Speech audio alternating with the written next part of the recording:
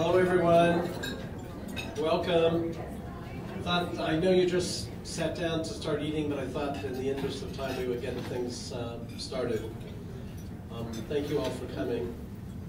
Um, as you know, this was initially scheduled for a month ago, and the weather got in the way. But I looked at this um, somewhat symbolically. I was driving to the hotel tonight, and there was the most beautiful sunset I've seen in a long time, and I'm thinking, spring's coming. So we have to keep that attitude uh, before us. Um, I wanted to make sure in the beginning that I thank Kathy Schandelmeyer and Doreen Karen for um, all their hard work. Um, as you all know, there is CME available for this. Um, and uh, I really appreciate uh, the turnout tonight. Um, we have an interesting agenda. Um, we had to change it a little bit compared to a month ago. Um, I still hope um, over the next few months to get Carmine Fumietto to give a presentation about uh, lung cancer screening with CT scanning. I think it's a very interesting topic with some controversy, and I think it certainly uh, has a lot of pertinence to primary care providers. Uh, as we do, oh, as we do traditionally, I want to introduce uh, new providers. Some are here, some are not. Many of you know James Ostrander, who was um, in our residency program, I don't want to say many years ago, but several years ago. Um, he's at Minot Avenue and Mechanic Falls. Uh, Elena Bell Wagner, Brunswick Primary Care and Bridgton Pediatrics. Is she here? Hi. Thank you.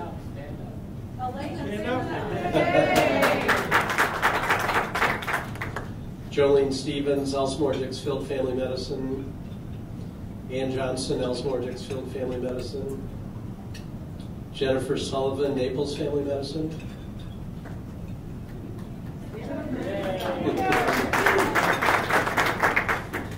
Tiffany Charlson, uh, Vascular Medicine. Hi.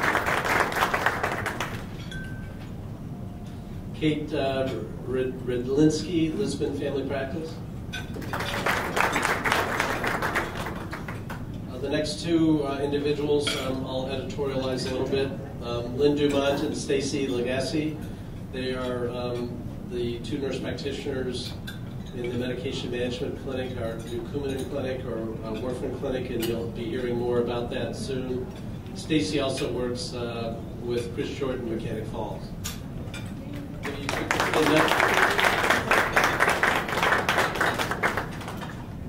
Katarina Funk, High Street Family Medicine.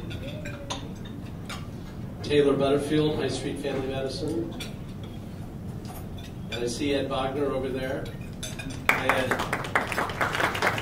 High Street Family Medicine. I also want to acknowledge uh, the residents who are here. We very much appreciate uh, your attendance and Hope you'll be in the community attending this function for the next 10 or 20 years. There you go. Um, I think the next person I want to introduce um, will be um, someone familiar to you all. I don't want to inter, uh, interfere with Bill's supper, but um, um, Bill will uh, maybe come up here and introduce his new associate. Bill Phillips, who, by the way, will be retiring this summer. No, no. I've decided to call it a sabbatical. Um, actually, I didn't. I thought you were going to introduce yourself. Um, but I, am happy to do That's so. my fault. Yeah. so I, basically, I would uh, thank you all for inviting us, uh, since we're not primary care doctors, secondary care sort of a, another tier down. But uh, I, uh, I'm very happy with the way things are are progressing with CMHVI, and we have some exciting new people that have come on, uh, both in surgery and in cardiology. And uh, I'm, I'm, delighted that Dr. Andy Eisenhauer has been uh, appointed hired as our director of CMHV. I call him our super chief. I forget what his middle name is, but his initials are A ACE, ACE. So uh, um, Andy has been um, a, a, preeminent interventional cardiologist at the Brigham and Women's Hospital in Boston for, for many years. I have this recollection that was 18 years. Am I right about that? 15. 15 years, okay. When you get to be as old as you are, It's true. I, I, I am older than Andy, even though he looks older than I am. um, It's not the years, it's the miles. I want to say that um, I know some people that had worked with Andy, and when, when I found out that Andy was potentially going to be interviewing up here, I called uh, a, person that I've known for many, many years, uh, uh, very, very uh, well-respected and well-known uh, interventional cardiologist. It happened to be a, guy by the name of Jeff Popma that I've known for, for many years, and uh, and I wanted to find out about this guy, as whether or not he was any good, and whether he got along with people, and all those sorts of things that we find important in medicine. And Jeff said, you can't find a better colleague than Andy Eisenhauer. And, uh, believe me, that was a, a tremendous uh, recommendation from somebody that I've known and respected, you know, since I really began my uh, career in cardiology. Uh, so I'm really delighted that Andy has uh, made a decision to come and uh, join us here at CMHVI, and I think that the future of CMHVI is looking brighter than ever. And I am, I'm very proud myself that we have been able to create a program where we can attract people like Andy and Carmine Fermiento and Paul Weldner. And I think you're going to be seeing even some other uh, interesting people coming to CMHVI. I think uh, we have uh, established an electrophysiology program with Dr. Mohanty over there. Stand up, Dr. Mohanty. and uh, Dr. Sora. And you know we've had we've had some growing pains along the way, but uh, it's really exciting to me to see how, how things are going. And uh, so when I start my sabbatical in July, I feel like uh, I'm, uh, I'm I'm leaving CMHVI with a, a great staff of people to carry on. So This is end. all right.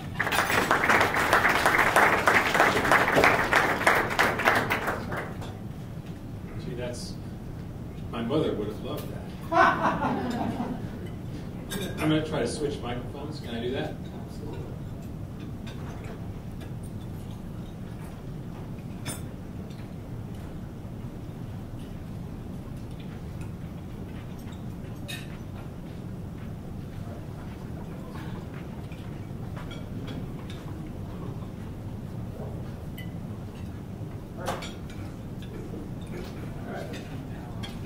Power on.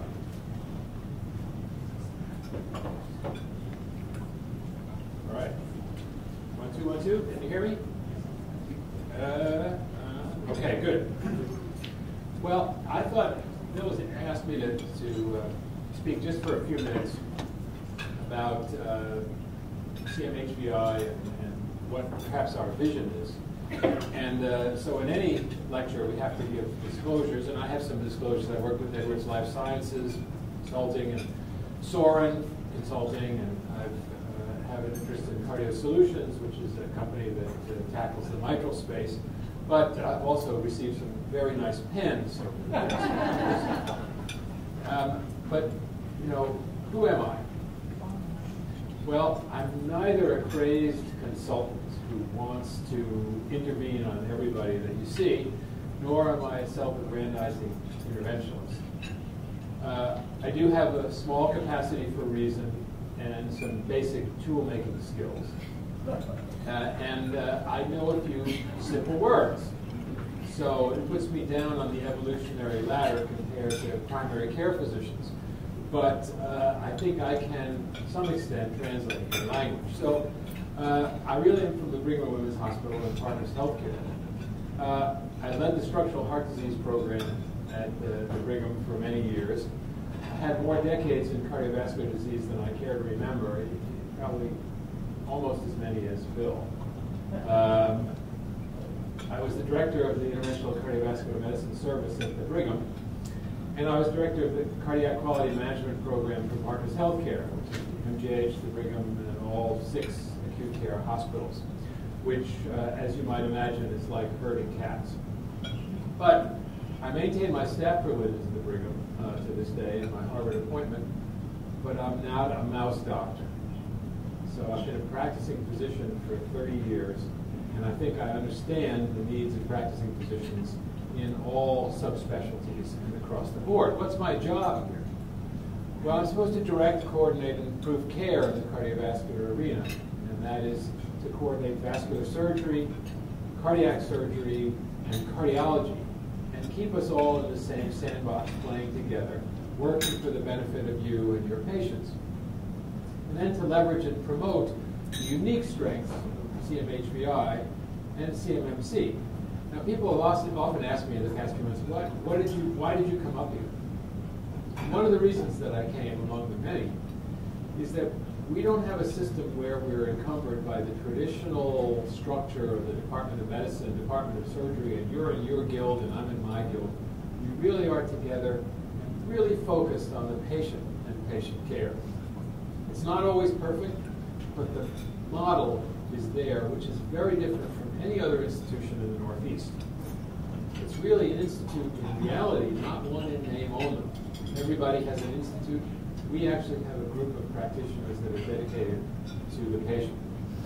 So I hope to advance the capabilities of the Central Maine Healthcare family, particularly in the interest of patient care in high technology cardiac care. So for example, let's think about structural heart disease. You know, we all know about percutaneous coronary intervention coronary angioplasty, coronary stenting, treatment of patients with acute MI, but interventional cardiovascular medicine and surgery is so much larger. We have structural heart disease, atrial defect closure, perivalvular leak closure for patients who have had past cardiac surgery, pulmonic valve replacement with catheters, occlusive venous disease and pulmonary embolus, which is a really untapped uh, need uh, in our communities, left atrial appendage Uh, occlusion to prevent stroke and atrial fibrillation, mitral valve technologies, which are coming down the pipe and are available now. But I want to think about, for, for just a minute, the transcatheter aortic valve replacement. It's kind of the most prominent area in structural heart disease intervention today, an area where minimally invasive techniques are really pushing the envelope away from cardiac surgery. So transcatheter aortic valve replacement is simply an aortic valve that's collapsed on a catheter that we use to replace the dysfunctional aortic valve in patients that are reasonably high risk for surgery. And it's FDA approved for patients who are inoperable or at unacceptable risk for surgery, or patients that are at high risk for surgery, those with a risk of about 8% or greater. Why is this important to you in general as primary care practitioners are taking care of patients who are older sometimes. There are about a million and a half people in the United States that have aortic stenosis. And around 10% of everybody over 65, particularly men, have aortic stenosis. So if you think about it, it's somewhere between 7 and 10% of the people over 65 that you see in the office every day will end up having or aortic stenosis. Why is that important? If we look across the board in the United States, these patients are going undertreated. At least 40% of patients who are eligible for aortic valve replacement are never considered for that. Why? Too old, too frail, the diagnosis not recognized, it's misinterpreted as, well, it's just slowing down, it's normal aging, it's something, you know, mom or dad or whatever it is doesn't particularly want to think about treating this condition, but it's underappreciated. I'm not saying that everyone needs to be treated, but everybody needs to be followed. Why is this important? Even if you have no symptoms, you've got about a 50% three-year survival free of operation with severe aortic stenosis. So patients may be asymptomatic, but they also may have a condition that really is potentially fatal. Why is this such a difficulty? One of the reasons is because aortic stenosis develops over decades. Patients have a systolic murmur. They are relatively asymptomatic. They can be followed clinically or with imaging for many, many years. And then seemingly all of a sudden, they go downhill. And sometimes at that point, people say, oh, mom or dad is too sick to do anything about. When in fact, all of this was predictable. Survival after the onset of symptoms is about 50% in two years. So this is the equivalent of heart cancer, right? It's worse than breast cancer or even worse than lung cancer. Surgical intervention for severe aortic stenosis is the gold standard and ought to be done when it's recognized. But many of these people, particularly in the United States today, having lived longer, have multiple comorbidities and may not be good candidates for surgical intervention. So surgical aortic valve replacement is the gold standard, but why might you not do it? Well, it's not good for everybody. Here's a patient. This is the first patient who had transcatheter aortic valve replacement at the Brigham. 94 years old. Yeah, 94 is probably ready for the boneyard. This guy was the contract bridge champion of the United States. He played with kids in high school and college and beat them uniformly. So he was absolutely sharp as, sharp as a tack, but he had had past cardiac surgery and had coronary grafts that made him held him hostage for a repeat cardiac operation. And he was deemed inoperable. So he was a reasonable candidate, perfectly good substrate, reasonable candidate for aggressive therapy. Another patient, age 77, he had a porcelain aorta.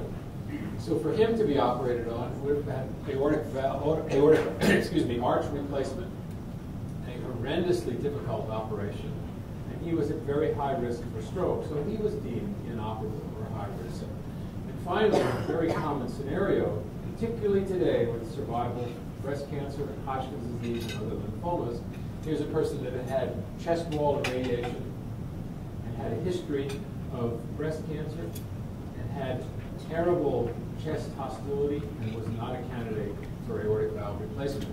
So here were three patients, variety of, of medical conditions, who were not good candidates for aortic valve replacement, all who had transcatheter valves. Why is this important? We in interventional cardiology sometimes get pushback as just wanting to do procedures, just wanting to find patients who need a PCI before they die, or need an aortic valve replacement before they die, or need something done before they die so we can just do procedures. In fact, that's not my perspective. If you look at patients with inoperable aortic stenosis who've gotten transcatheter valve replacement versus those who've been treated conservatively and medically, the results are dramatic. In this instance, in the partner trial, which is the first randomized trial of aortic valve replacement transcatheter technique, at a year, half the patients who were followed medically were dead. Only 30% of the patients who were treated with transcatheter valve. At two years, even more dramatic, 68 versus 43. But more important, the number needed to treat to prevent one death for one year was five patients here. Great, fantastic therapies have the number needed to treat of 15, 20, maybe 30. Dramatic difference. And what was the median age of this population? About 80. So octogenarians are not people who are disposable. They're very, very important patients treat under these circumstances. So aortic stenosis needs to be recognized and needs to be treated. These are some patients who were deemed inoperable who had transcatheter aortic valve replacement. Here, there's this gentleman was bedridden beforehand. Here's a picture that he sent us a month after his hospital discharge. This gentleman was a D-Day veteran of World War II, couldn't get out of bed, had transcatheter valve replacement. Saw him 12 hours later. This man, who's on the board of the hospital, had a transcatheter aortic valve replacement. He had a hostile chest and couldn't have surgery. And next year he was snowmobiling in Iceland. And so we have these things over and over and over again of patients who are deemed inoperable, not candidates for standard therapy, but who were benefited by transcatheter valve replacement. Why am I here talking about this? About, you know, aren't we great? No. It's because there's an opportunity in every patient in every disease where therapy is possible. And after that opportunity is lost, therapy can be dangerous. So we know in patients with aortic stenosis, I showed you this before, where there's a downturn when patients have symptoms. When they get to here, they can have surgical valve replacement and be better. And they can continue to do this along the line. After surgery becomes prohibitively dangerous, transcatheter valve replacement can be used. But at some time, it's not possible to do anything, and if you do something, you'll actually kill people. And the important aspect, the interface between what I do and what you do, is to figure out where this spot is. Because we want to treat people here that we can benefit, and we don't want to treat people here that we're going to harm. And this is one of the hot topics of research in transcatheter valve replacement. I call these patients the disoperable. The patients in whom you do something, you will actually hurt them. And here's a man who was 86 when I saw him, who had aortic stenosis for a decade before this. Was followed with serial echocardiograms, and by the, by the time he became truly symptomatic, he was deemed inoperable and wasn't treated. By the time he came to us, he had so many secondary effects of his aortic stenosis that in fact he was disoperable. Had we done anything to him, we would have shortened his life and made him more uncomfortable. So I'm not standing here to say, yep, every patient, every time, under every circumstance, we can fix them. But with your help, we can get to patients early and we can fix them. Take home message before I start is there's much new and innovative we can do for structural heart disease, venous disease, coronary disease, peripheral arterial disease, arrhythmias and heart failure, some stuff that's not even known. The take home message is call me or my colleagues if you have questions, if you have comments, if you have need of just a question about is there something to do for this, that, or the other thing. We're available and we welcome that. My reason here is to help you help your patients. And if I can do that by the time I get to Bill's age and ready for the boneyard, I'll really have done, I think, something that'll make me happy. So thanks very much.